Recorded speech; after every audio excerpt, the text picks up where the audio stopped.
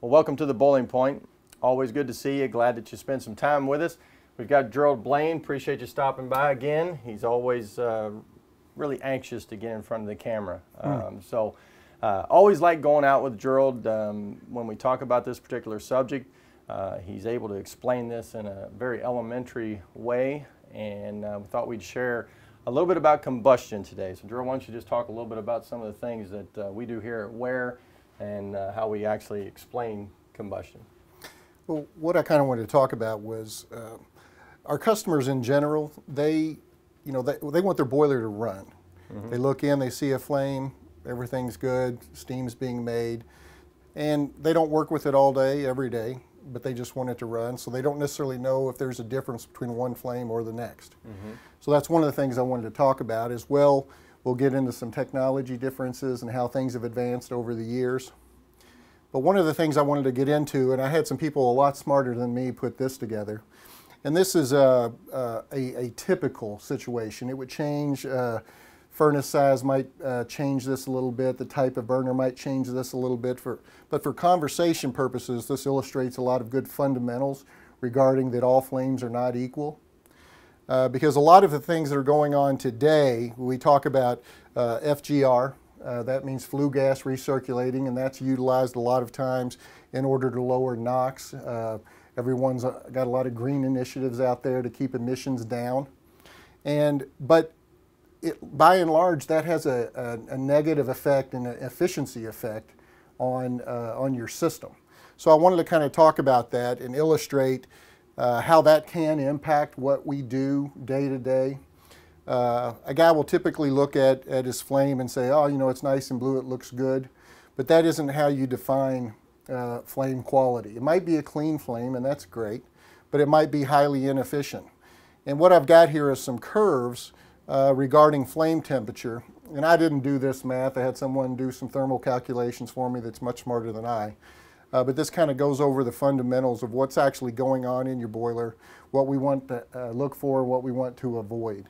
Um, this first curve that we're looking at here is, is with zero FGR, and that's kind of where I'm going to base the conversation. So as you can see here, uh, as you add FGR, you're decreasing flame temperature. So let's talk about, we don't have any FGR from the uh, beginning. A lot of people don't have new low NOx burners at this point. And what, what, what they're often going to see is, we talk about uh, excess air, uh, O2s, as an example, 15% uh, excess air uh, is a, almost 3% O2, and that's typical. And the engineering that usually happens with traditional equipment is that they're hitting 3% at high fire. Uh, the problem is, as you come down uh, a typical firing range, you're going to see excess airs go up, excess air and the O2 level. So as an example, if we had 30% excess air and we're in a lower firing range, we're going to see a lower flame temperature, higher O2s, and you see us coming down the curve. Just going from 15 to 30 percent we could see a drop close to 300 degrees in flame temperature. So I'm trying to illustrate here that all flames are not equal. And you can see as we add uh, flue gas recirculation, we lower those temperatures further. Often I'll see systems that might be 40 or 50% excess air getting up here into the 6 and 7% O2 ranges. And you can see where that can bring it down, you know, 4, 5, 600 degrees in flame temperature. So all flames are not created equal, and the things we're wanting to avoid by understanding this is avoid flame quenching, which is what's occurring here with the lowering of the temperature, which is necessary to some degree when we get into the NOx. But how much uh, flue gas we have to add is going to impact how efficient that particular system is, and not all low NOx are the same. Mm -hmm. uh, and, and in doing this too, we want to avoid furnace cooling. So if we lower our temperatures, we're increasing the air. Now we've got our heat exchanger battling against us. Uh, and we want to avoid high velocities. A lot of systems, uh, traditional systems in particular, uh, they can use lower horsepower fans because the velocities are running through there quickly and the heat exchanger can't perform exactly like we'd like it. So by avoiding some of these things, we're looking for better heat transfer. We also want to look for less maintenance. So there's a lot of equipment out there that has fewer moving parts. And those are the kinds of things we're wanting to implement into our combustion system. But these are just some of the fundamentals that the average person who's not dealing with this kind of thing every day simply looks in the peephole and goes, I got a flame, and why is your flame any different? And these are some of the characteristics that really cause that to be different. So, how do you define efficiency? Well, not the way that most people do. Most people look at this and they say, "Oh, look, it's clean, it's blue, it's it's efficient." Th those are totally different things. This could be a nice clean flame, but the way we define it is we define it by the numbers. And what we're wanting to have is low O2 operation because higher O2s mean a lot more excess air, that flame quenching that I was describing earlier. We want to keep the CO down as much as possible. And I'll explain how CO impacts uh, different uh, technologies here shortly. Uh, if you got oil, you know, we don't want a number uh, over one in smoke. And if we are utilizing a low NOx technology, we'd like to keep the flue gas recirculation or the FGR to a minimum because as I illustrated in the flame fundamentals, that can impact more flame quenching, more cooling of the furnace. Mm -hmm. Well, as far as like traditional burners, um, maybe talk a little bit about how they operate. What we have here uh, would be very traditional. You'll see there's tons of this technology out there right now. Uh, it's still being sold. Uh, it has been improved quite a bit over the years. It's a swirl head mixing technology. Um, but it has some limitations, uh, and they are working hard to improve it. Um, and what those things are is you don't always have a balanced uh, fuel air mix. So they utilize uh, throats and different tiles in order to try to make sure combustion gets completed. But when they have biases in different areas, they're trying to create chaos and cause the burning, but sometimes they'll have a bias. And the technician in the field, when that bias occurs, you get an elevation in CO, and that's unburnt fuel that can create uh, poisoning in the air, all kinds of things. So the technician is limited to how he's going to work with that, and it's often by increasing the excess air, the O2 levels. And a lot of the equipment uh, with the traditional technology still has linkages. This is uh, kind of what a typical linkage system would look like. You've got one motor trying to do multiple different things with all these arms. So it gets complicated. And if you added a secondary fuel into that, it's that much more complicated for the technician to get everything to work exactly right and still be safe. So then he has to buffer in some safety factors into that. So the way that we define uh, the deficiency or the efficiency with the traditional burner would look something like this. Uh, they would achieve 3% O2s at high fire, and then as you come down the firing range to the different rates, you would see an elevation in the excess air, or the O2 levels. Also with the linkages, you would be uh, more restricted, particularly if you had dual fuels to maybe a four or a three to one turn down, which is not necessarily good or bad. It just depends on the circumstance and the situation. Uh, you, you could have a lot of uh, turn down capability and your process never use it. So we try not to make more out of that than it is. It's, it's application dependent. Uh, but what we do see overall, and I see hundreds of these a year, is we'll see that the average capacity of the boiler, uh, when you compare its total ability to use fuel versus what it does, is in that 35% capacity range. So that's why you see there's a huge opportunity here uh, to save money if, if, we could improve that situation. But this is what people were used to. That's typically the way uh, traditional burners were engineered. Like I said, they have made improvements. Uh, and they continue to try to improve that technology. Well, where do most boilers or burners actually run um, as far as a percentage of, of, running? What we typically see is uh, the boilers, being that they average 35%, running in that 30 to 45% range, and then occasionally you see them move up to high fire, come back down. Uh, but when we look at a profile, it's often in this mid-range, which is where we're wasting the fuel, as you can see on the curve. So most boilers are just oversized? Uh, well, that's the challenge. Uh, the, the boiler itself has to be sized to handle the maximum loads. Right. But on normal working conditions, it's not at the max. Gotcha. So you got kind of a catch-22 that you have to do it, but you waste fuel in the normal range. Okay.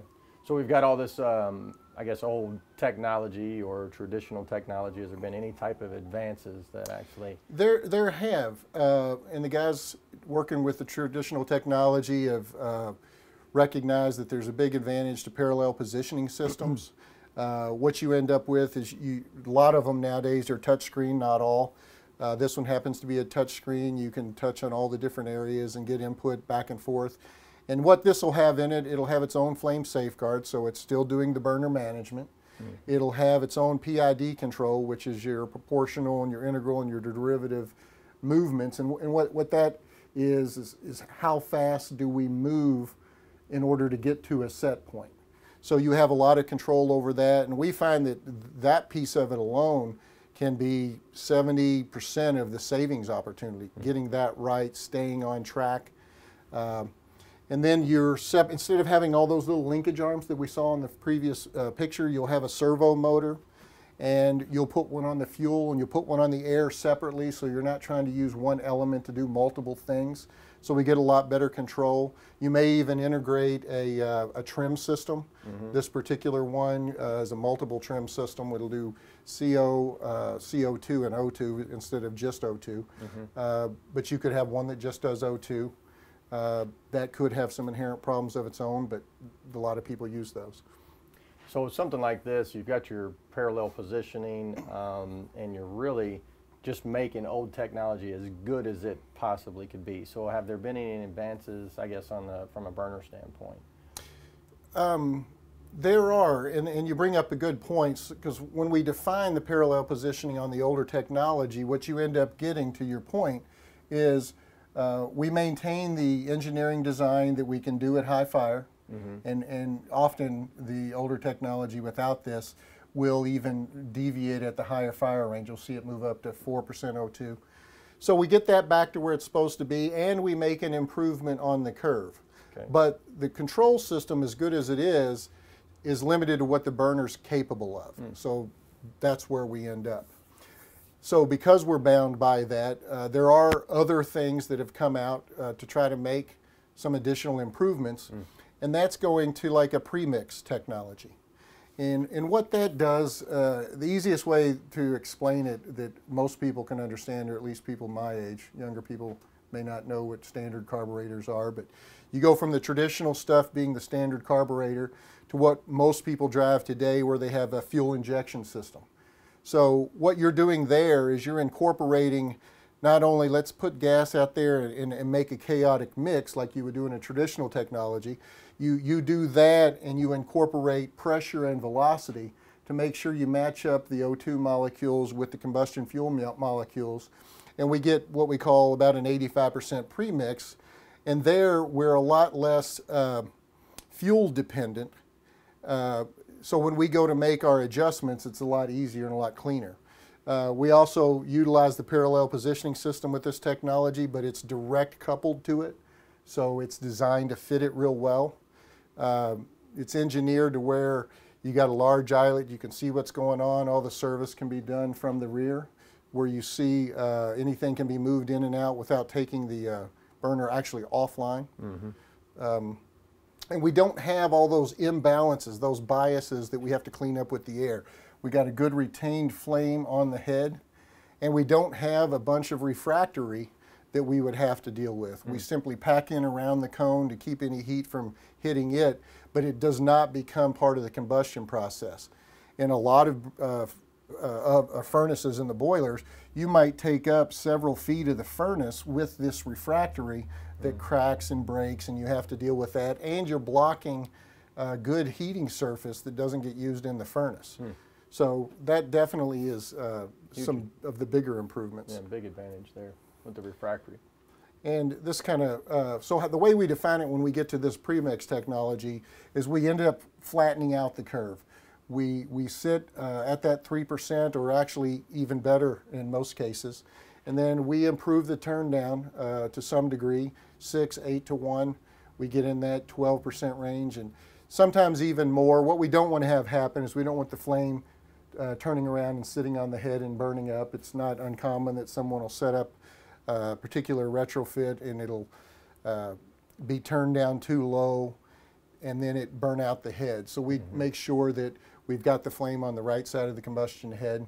And if we have to air it out slightly, unlike where I've seen a lot of conditions where they say, yeah, we want 8, 10 to 1 turn down, and they're up here in the 8, 10% O2, which is 60% excess air, and we got the flame quenching, we're cooling the furnace, we're doing everything against the process. Where when we get a call for heat and we're running at these low O2 levels, we're not creating CO, we immediately started making steam. It comes, it goes straight from the flame into the, through the furnace into the water, instead of having to uh, ramp, ramp up into the low O2 range before we start getting good production. So what you'll see with this change in technology is that you'll get a call for heat, you'll ramp up real high, and then you'll come back down causing an over and undershooting where we will tend to modulate, we'll go up because more heat's available, and then we'll come down uh, slower and sooner because you're going to get heat immediately. This is an example of what a premix system might look like. Uh, I talked about that eyelet. Normally, uh, most traditional equipment, you got a small eyelet. You can't see much of what's going on. But since the design of this kind of equipment is to actually service it from the eyelet, you remove the bolts, pull it out. Uh, there's not a lot of moving parts, so we really don't do, there's not a whole lot of servicing that goes on. Uh, but this is a typical example of what that might look like. What are some typical performance numbers that we're talking about with this? Good question, and, and here's an example, and this one happens to be a low NOx look because in most cases, low NOx will mean less efficient. Uh, with the premix technology, we still maintain the uh, sub 3% O2 across the board. You can see here, not creating any CO. This one happens to be about an 8, 10 to 1 turn down, uh, and we're achieving the 30 or less ppm all the way across the board. So we're not getting a big flame quenching, we're getting the NOx we need, we're getting efficient. So we're trying to combine all of those things and not just say NOx or nothing, but we're do, getting it efficient. We're usually saving 14, 15 plus percent in fuel by utilizing these kinds of technologies. And, and we do it on a regular basis. So we've retrofit about every kind of equipment there is out there so we know it's proven. We've got hundreds in the field. Uh, so we're real excited about it. We even buy it ourselves now for our own equipment. Well, we appreciate you stopping by, man. Uh, always great information, and uh, hope you uh, learned a little bit about some older technology and some of the newer technology. We'll see you next time.